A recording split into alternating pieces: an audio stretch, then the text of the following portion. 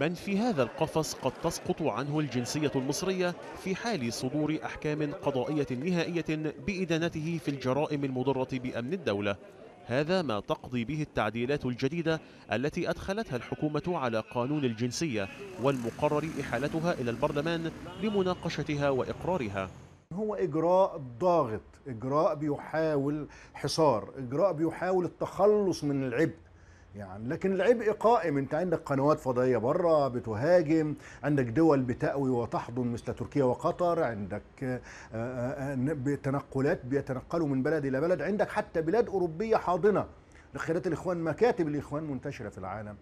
ووفقا للتعديلات الجديدة يمكن أن يجرد من الجنسية المصرية كل من صدر بحقه حكم قضائي يثبت انضمامه إلى أي جماعة تهدف إلى المساس بالنظام العام للدولة أو تقويض نظامها الاجتماعي أو الاقتصادي أو السياسي بالقوة.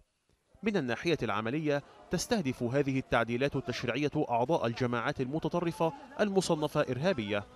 أما من الناحية الدستورية فيخشى قانونيون أن تتعرض تلك التعديلات للطعن بعدم دستوريتها. دستور 2014 قال أن الجنسية حق وأن هذا الحق بالنسبة للجنسية الأصلية لا يحق لأحد أنه يقترب منه على الإطلاق. يبقى أي تعديل يتعلق بمفهوم الإسقاط للجنسية الأصلية هو تعديل يعتدي على الدستور ومخالف للدستور. التعديلات تشمل أيضا تشديد شروط منح الجنسية للأجانب ولأبناء المصريات وسيكون على البرلمان خلال الفترة المقبلة مناقشة التعديلات المقترحة واتخاذ قرار بشأنها.